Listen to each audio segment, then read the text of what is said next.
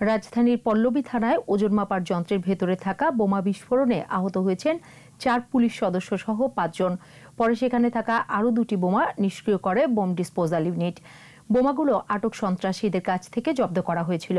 ঘটনাস্থল পরিদর্শন করেছেন জিএমপির ঊর্ধ্বতন কর্মকর্তারা।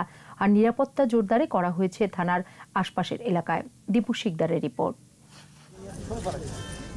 ভোর সাতটার দিকে থানার ভেতরে বিস্ফোরণ। আহত হন পল্লবী থানার একজন পুলিশ পরিদর্শক সহ চার পুলিশ সদস্য। এ সময় আহত হন আরও একজন। পুলিশ কর্মকর্তারা জানান মঙ্গলবার রাতে তিন সন্ত্রাসীকে গ্রেফতার করা হয়। তাদের কাছ থেকে জব্দ করা হয় ওজন মাপার যন্ত্রের মতো দেখতে একটি ডিভাইস। পরে থানাতেই ঘটে বিস্ফোরণ। বোম ডিসপোজালের কাজে যারা অধিকতর দক্ষ তাদেরকে তাদের জন্য ওয়েট করতেছিল। ওই পর্যায়ে এই ভিতর থেকে একটি বিস্ফোরণ ঘটে। এক্সপ্লোসিভ নানা একটি পলানোর সময় অনেক সময় ইউজ করা হয় কিংবা যারা বিক্টিম তাদেরকে বিভ্রান্ত করার জন্য ইউজ করা হয় কিংবা পুলিশের হাত থেকে বাঁচার জন্য ইউজ করা হয়। এই জাতীয় একটা উদ্দেশ্য ছিল বলে আমরা প্রাথমিকভাবে জেনেছি। এরপর আরও দুটো অবিস্ফোরিত বোমা নিষ্ক্রিয় করা হয়। এই ঘটনার সঙ্গে কোনো জঙ্গি গোষ্ঠীর সম্পর্ক পাওয়া যায়নি বলেও জানিয়েছে পুলিশ। প্রাথমিকভাবে আমরা এটা বুঝতে পারছি।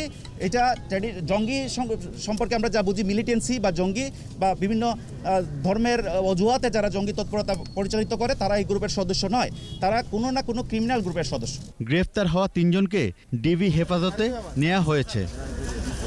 দীপু শিকদার, একুশে টেলিভিশন, ঢাকা।